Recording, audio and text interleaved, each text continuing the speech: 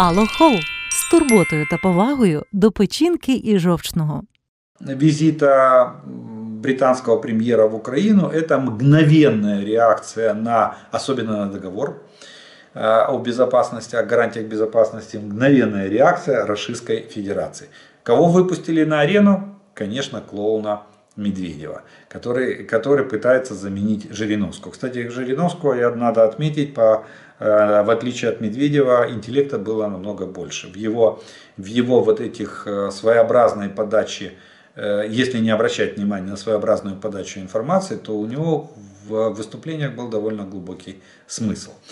Вот. А, ну а Медведев глашатой позиции, позиции Кремля. Так вот, Э, во время, а, когда визит э, начался, э, Медведев не выдержал и, ну, не, не то, что он не выдержал, я думаю, ему дали команду ФАС, и он пригрозил Великобритании войной.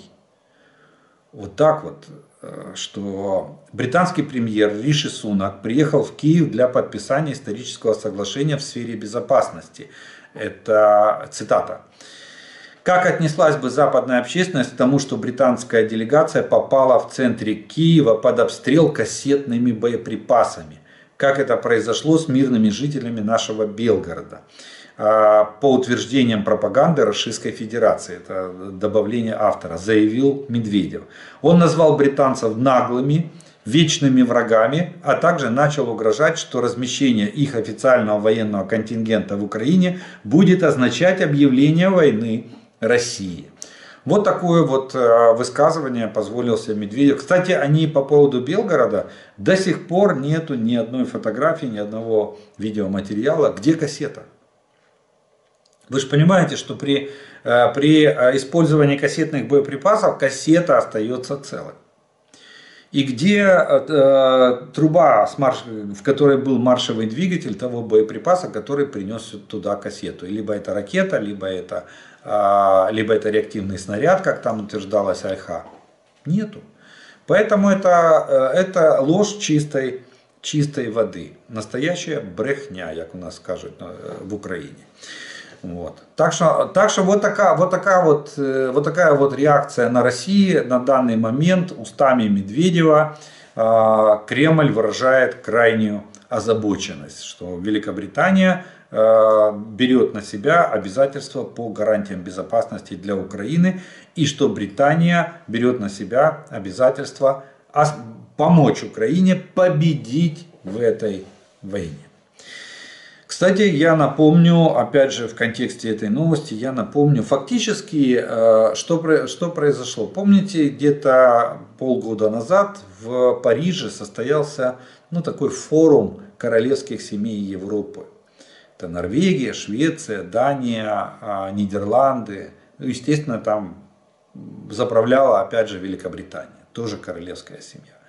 Вот. Тоже монар... конституционная, но монархия. Так вот, э, король э, Великобритании, выступая на этом форуме, призвал королевские семьи Европы оказать помощь Украине в, в, в плане победы на, в этой войне над российским агрессором. Вот что такое, э, вот что такое королевские семьи. Поэтому отсюда Нидерланды находят э, миллиарды долларов для евро для, для, на военно-технической помощи.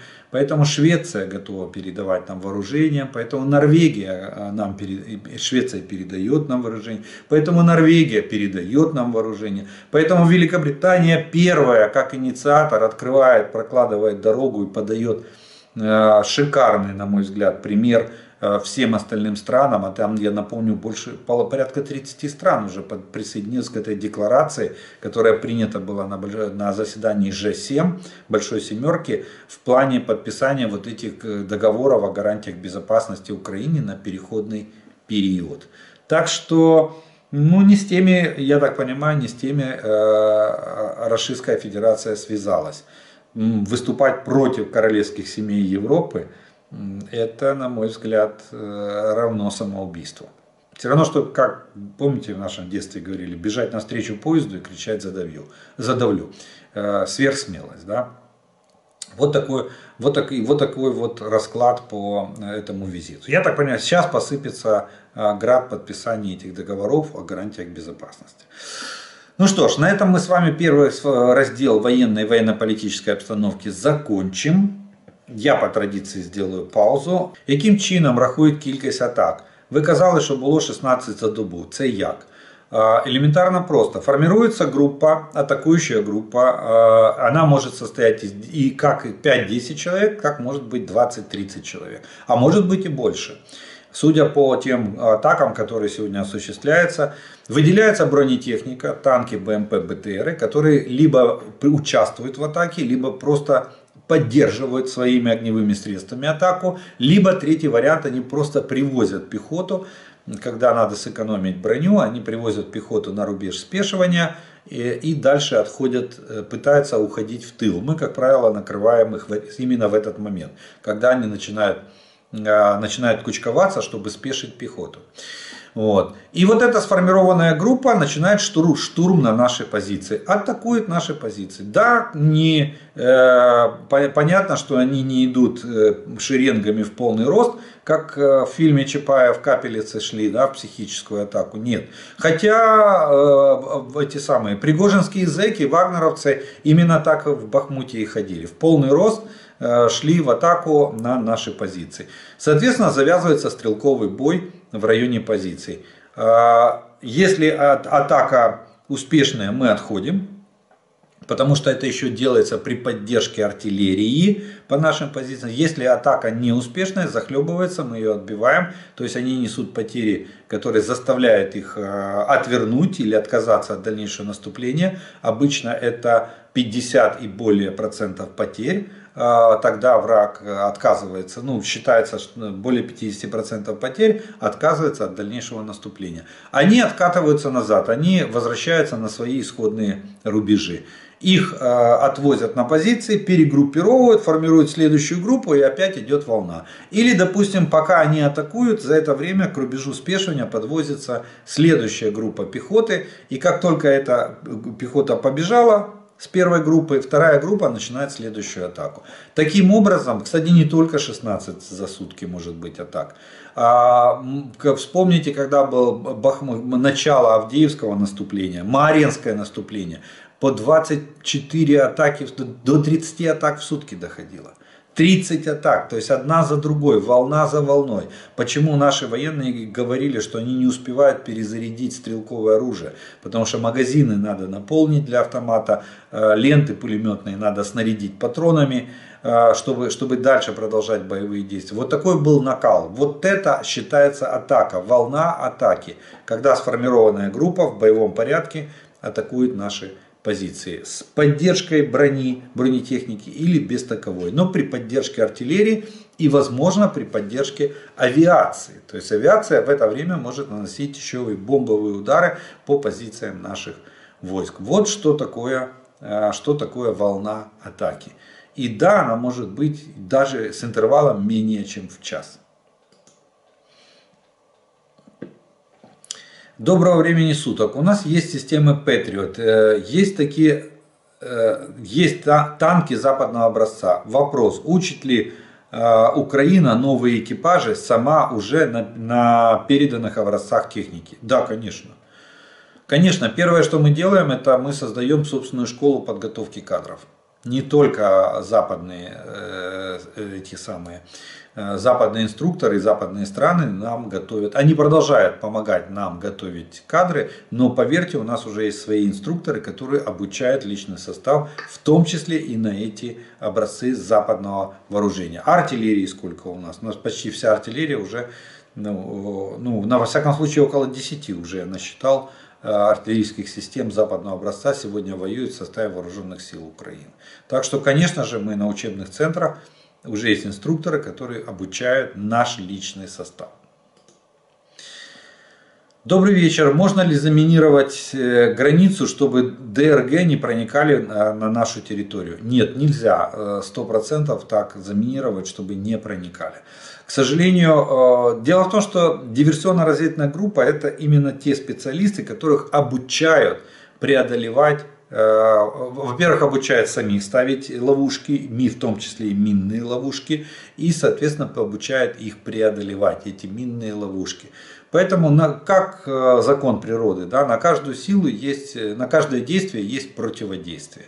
Поэтому всегда найдется какой-то спец в ДРГ, который сможет преодолеть все эти минные заграждения, которые устанавливаются в лесах. Плюс, опять же, есть такие нюансы, как эм, экология и, точнее, фауна.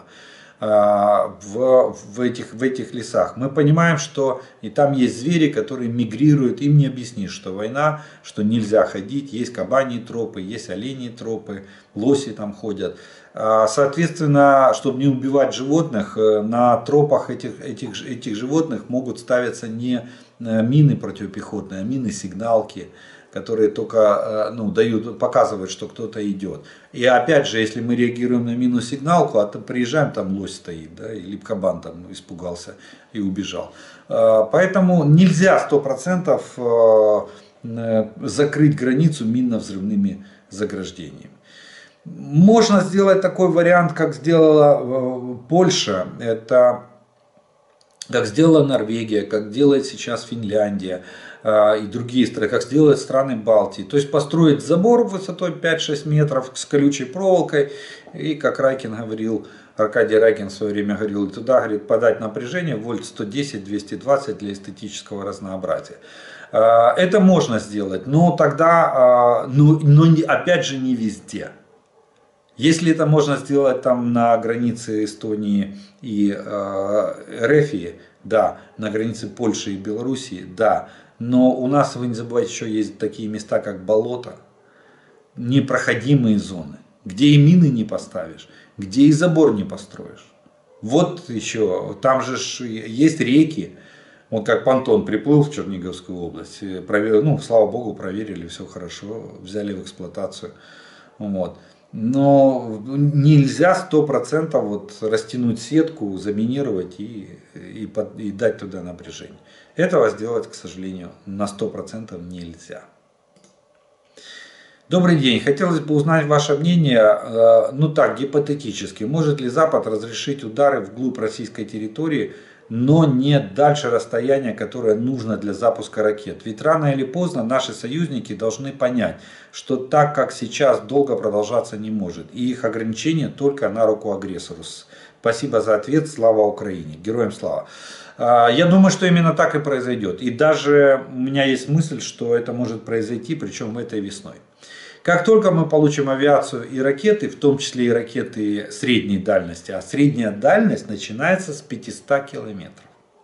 Вот, допустим, если нам дадут Storm Shadow или Scalp э, в их э, последней вариации, она летит на 560 километров. Таурус летит на 560 километров. Это уже ракета средней дальности. До 500 малая дальность, а свыше 500 до 5,5 тысяч это средняя дальность. И я думаю, что именно такой, вот как, сказал польский, по-моему, министр иностранных дел, он тогда сказал, что надо, надо дать Украине, а это в ответ на вот эти новогодние массированные ракетные удары, он заявил, что надо дать Украине а, ракеты большой дальности и э, закрыть глаза на их применение. Вот именно так, скорее всего, и будет. То есть негласно Запад сделает вид, что они не замечают или не знают о том, что куда летят эти ракеты. И да, на всю глубину досягаемости этих ракет мы будем наносить, а, будем наносить огневые удары. Потому что, как вы правильно заметили, а, крайне тяжело будет победить врага, если не разрушать его логистику, на его, если не переносить войну на его территорию. Добрый вечер. Я по поводу 300 миллиардов. А можно на них просто купить технику, системы ПВО, самолеты и так далее? Ведь на эту сумму мы можем а, очень много купить и не зависеть. А, вы же сами говорили, кто платит, тому первым идет оружие. Пока опять чьи-то а, волосатые руки не влезли туда как это было с 40 миллионами на дрон, миллиардами на дроны, 40 миллиардов на дроны выделили. До сих пор не могут, э, до сих пор найти не могут. Лучше сразу э, бартер, по крайней мере, с этой первой суммой. Спасибо за ответ, э, лайк каналу и спасибо за информацию. Я думаю, что именно так и будет. На эти, так на эти 300 миллиардов и будет закупаться вооружение. Будут, будут оплачивать контракты, будут оплачивать заявки для, как для военно-промышленного, для военно-промышленного комплекса всех стран, которые будут принимать в этом участие. Именно для этого деньги эти и выделяются. И основная сумма а, этих денег пойдет на восстановление страны, на инвестиции э, в нашу, в нашу экономику. И да, я с вами полностью согласен, нашему правительству в, э, в, в руки эти деньги давать ни в коем случае нельзя нужен внешний оператор этих денег, э, какой-то европейский банк, который будет, или американский банк, который будет их распределять, оплачивать, выписывать платежки, счета составлять и так далее. Но ни в коем случае не заводить их в Украину. Ни в коем. Иначе действительно мы их не найдем.